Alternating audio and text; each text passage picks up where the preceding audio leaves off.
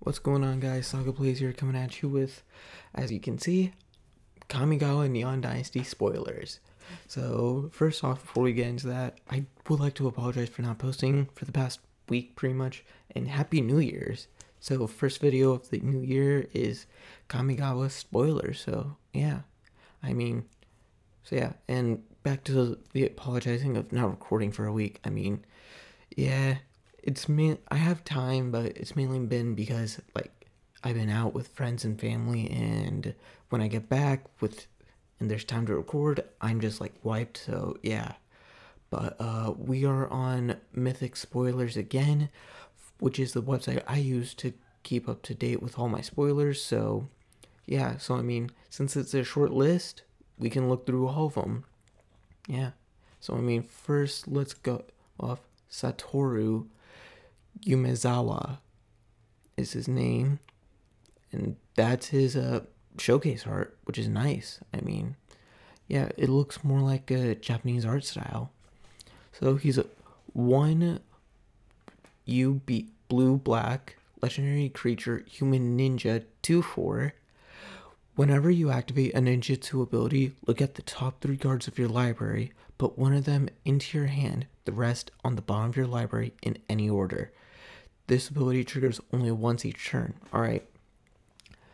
So obviously, right, each creature card in your hand has ninjutsu 2 blue black. So I mean, right off the bat, ninjutsu is coming back. I'm like, I'm not too sure if Bushido Bushido is coming back, that type of thing, but ninjutsu is kind of more of a staple for Kamigawa or ninjas in general. So yeah, so I mean, there's probably no prices on these, so I'll just be looking at the cards. But I think this will get some good play in uh, ninja decks, mainly because you get a benefit of adding a card to your hand and then rearranging your bottom to the card that you want, or however so. But yeah, I'd say it's a fairly good card. And then a new Planeswalker for Kamigawa Neon Dynasty. Excuse me a sec. And that is Kaito Shizuki. One blue black legendary creature or legendary planeswalker Kaito. At the beginning of your end step, if Kaito Shizuki entered the battlefield under your control, he phases out. So his static ability is really good, I'd say. Mainly because like on the turn he some played, then on the turn he enters the battlefield pretty much he it gets protected so nothing can happen to him. So you get to keep a planeswalker for an entire table rotation if it's in commander or like for a whole turn or so if it's like standard pioneer that type of thing where usually people are it's 1v1 but his uptake plus one draw a card then discard a card unless you attack this turn. All right so that's pretty much an ability you would activate second main phase. Down take two create a 1-1 blue ninja creature token with this creature can't be blocked. All right not bad. And then down take seven you get an emblem with whenever a creature you control deals combat damage to a player, search your library for a blue or black creature card, put it onto the battlefield, then shuffle. So, I mean, not a fairly good card, so I won't deny that. So, I mean, that is a good thing to have mainly because, like, uh, emblems are can never be removed. And then also he comes in with three loyalty. So if you're gonna try and like if you are having this in a multicolor deck with a Vorinclex from Kaldheim out, then I'll flat out say that pretty much he'll be up to six at that point because all your counters are doubled and then just uptake one and then he phases out so he's protected already having seven in order for you to use when your turn comes again. So uh, yeah, but I mean that emblem is pretty good, mainly because it allows you to search for a blue or black creature card and put it onto the battlefield. So it doesn't matter what CMC is, you can immediately play it, which is nice. Only hard part would be to get have one of your creatures deal combat damage to a player. But either way, that is good. It's Hidetsu Hidetsugu Devouring Chaos. I think I said that right. I'm not sure. I watch a lot of anime, so I kind of can get the names, but not exactly. But he's a three black legendary creature, ogre demon. Black, sacrifice a creature, scry two. Two red, tap, exile the top card of your library. You may play that card this turn. When you exile a non land card this way, Hidetsugu Devouring Chaos deals damage equal to the exile card's mana value to any target. So that is not bad.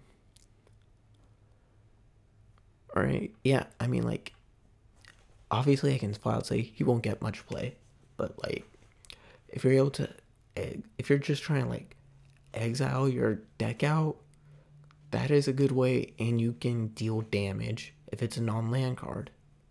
So you get a benefit. So, like, if you're trying to mill yourself, that is kind of a good way to mill. If you're trying to, like, mill yourself into a win con or something like that, but it is risky and it is, and you have to run, use that, have red in order to use that ability. So, not much. And he's a 4 4, so I'm flat gonna say not much play. And then, if I remember, the Tsugu has multiple. Yep, he has. He pretty much has colors in all of them. So a black, black, uh, spread showcase frames. I'll probably pop these up later again, but yeah, he's the only one that comes in like five different colors for a showcase like black, white, green, blue, red. I don't know why, but I mean, it is cool. It's like, obviously, it's Neon Dynasty, so neon highlights. You can see like what what is exactly the difference between them. Like it's all the same artwork, just like different highlights. But from the black one, I can obvi- you can obviously tell like it is not as detailed as these four because that one is just like normal showcase and then these are like drawn on top of the showcase. So yeah. Next card is Atsushi Atsushi the Blazing Sky. Two red red legendary creature, dragon spirit, 4 4, flying trample. When Atsushi, Atsushi the Blazing Sky dies, choose one. Exile the top two cards of your library until the end of your next turn. You may play those cards or create three treasure tokens. So, right off the bat, not much play, I guess, unless it's like you just have him as a chump blocker because he's only good when he dies. That's it. And if you're in a mono red deck, those treasures may come in handy, or you may exile the top two cards. But I mean, it's up to you. So, yeah. Cause, uh, cause I mean, flying trample is not bad, but you mainly would have him just so that he could die and you can get a benefit or so from him. Cause I mean, he's a four four with a f- four CMC, so yeah a lot of fours going on in there. But yeah, pretty much four mana cost, and you would probably try and want him to die. And yeah, I forget, but this, ooh, yeah, that is his uh, showcase. So I like, I do like his showcase, which is really nice. I won't deny that. But uh, I forgot to show you the Kaito Sh- Shizuki showcase. So I mean, a lot of anime style it's really nice. I mean, kind of going Japanese for some of them, but like anime style right here, really nice.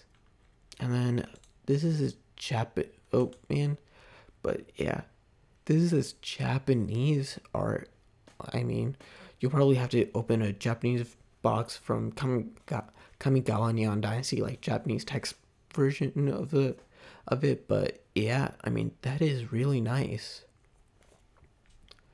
And then here's the Satoru Umezawa, his other showcase, which is also nice. So it's like I guess uh this is the borderless, and then this is showcase frame. So yeah, and this is borderless showcase frame. So yeah, yeah borderless right there. Yeah, But I mean, they do not look bad at all. I mean, I enjoy them. Alright, so the Kami War.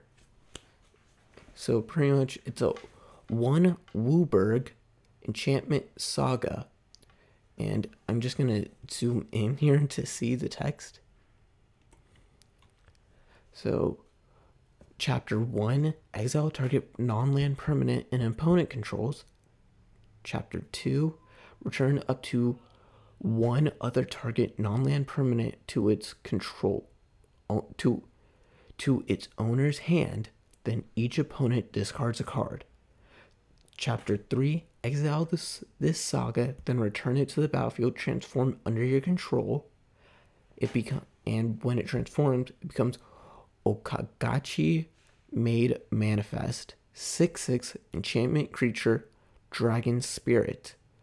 Okagachi Made Manifest is all colors with flying trample. Whenever Okachi Okagachi made manifest attacks, defending player chooses a non-land card in your graveyard, return that target to your hand. Okagachi made manifest gets plus X plus zero until end of turn, where X is the mana value of that card. So this is not bad at all whatsoever. I mean, it is more dragon based, but I mean, once you get it to flip over, you get a real a very nice ability and it's not a legendary creature so you can have multiples of these going on at the same time so that is not bad i mean not denying it it is a really good card which i may add to my ur dragon commander deck but yeah and that as you can see it's kind of been it's kind of beaten up, so it's like probably a paper copy, and there's no official art for it yet, or like official showcase art for it yet. But they'll probably release one soon.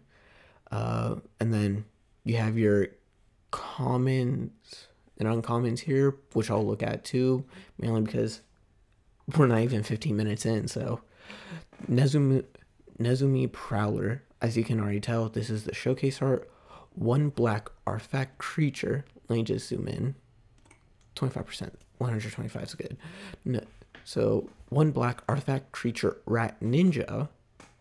Ninjutsu, which is a 3 1. Ninjutsu, one black. So, I mean, no matter what, you would be paying its man cost or ninjutsu cost in order to get onto the battlefield. But when it enters the battlefield, target creature you control gains death touch and lifelink until end of turn. So that's not bad. So I mean, you can ninjutsu this out and give probably one of your stronger creatures death touch and lifelink, so you gain life and you're able to get rid of a creature if they also pair that creature you selected also perishes. So yeah, because I mean it's like uh, as you can see, it's really like Bla- Black Lance, Black Lance Paragon. So I won't deny that, but he targets knights instead. And this targets any creature tar- any creature you control. So that's not so bad. Uh jukai tra- trainee one green creature human samurai 2-2 whenever jukai trainee becomes trainee blocks or becomes blocked it gets plus one plus one until end of turn yeah alright so not a good ability won't see much for play in general but he's there yeah, I don't have much to say about the uh, non uh, commons or the commons or uncommons mainly because like those will get used every now and then. Mainly people try and hunt for the rares in order to make use of, and then it's like your uncommons will be used, and the only common cards sometimes people will use are are basically lands because those are common type.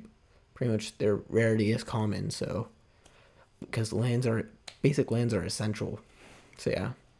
But discharge of flame, X red, instant.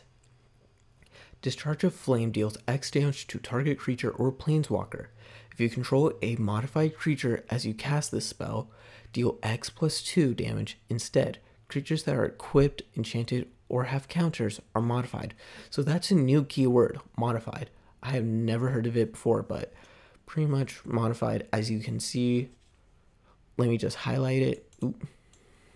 But yeah, creature to be for it to be considered modified, it's equipped, enchanted, or it has counters. So those are easy to do. I mean, get counters on a creature, enchant one, or get equipment onto a creature. Those are not hard. It just like this is you want to get to max out maximize this card more. You pretty much would want to have like counters or equipment or enchantment on something. So yeah. And then uh, our Kyodai Soul of Kamigawa. Alright. So like, this is a dragon spirit, three white. So I honestly want to say that this symbol is uncommon because it looks silver, but I'm not too sure. I want to say it's rare, but yeah, I mean, this is a WUBRG card, so yeah. So, three white legendary creature dragon spirit, 3 3, with flash flying.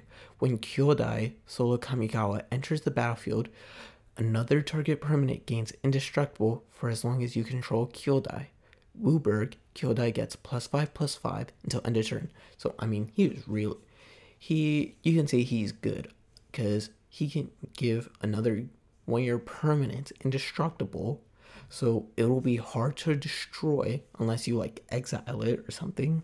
So I mean, give it to a creature when you're more OP creatures. You don't have to worry about it unless they try and exile. But if Kyodai dies, then your creature becomes vulnerable again. So he's probably gonna you're probably gonna run like one or two copies of him, maybe. Not too sure, but he is kind of expensive because CMC of four and then you need to have WUBRG in order to activate his other effect just to boost him up so that he may not die.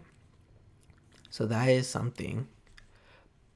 But yeah, you may see him one or two cards in play for standard pioneer or not pioneer standard and mainly pioneer that has a longer set list so you really wouldn't upgrade as main cards but yeah last card Takenuma Abandoned Mine. Or uh, Takenuma Abandoned Mire. Legendary land. And I don't know what rarity it is because a card on top is covering it. It's tap add black. So there's that channel. New term. Three black. Discard Takenuma Abandoned Mire. Mill three cards then return a creature or planeswalker card from your graveyard to your hand. This ability costs one less to activate for each legendary creature you control.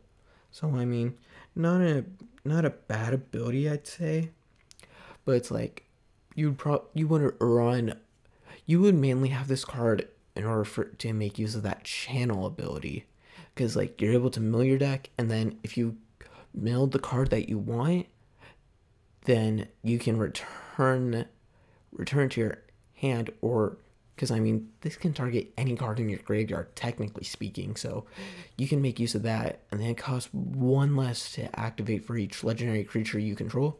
So I mean just have three legendary creatures out and it just costs a black. So and it does tap for a black.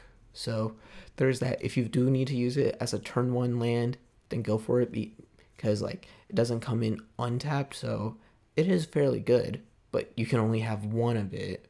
So pretty much you would mainly be running this for its channel ability, which I won't deny is a kind of a good ability. And that is it for right now.